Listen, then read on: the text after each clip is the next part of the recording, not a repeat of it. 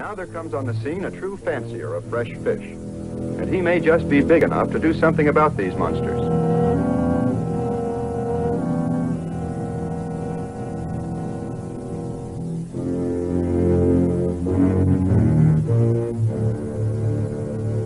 First he tries the standard approach, poking at them with his paw, looking for all the world like an oversized kitten beside a goldfish pond.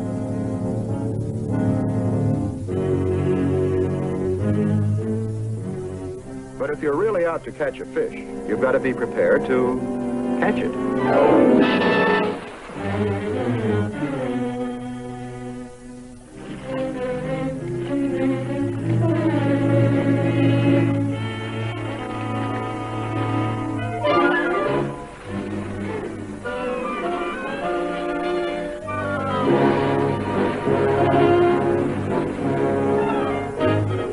Seven-foot fish versus eight-foot jaguar. For a while, it's almost an even tussle.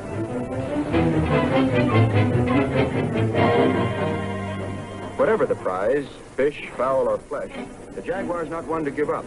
He pursues and pursues, and above all, persists.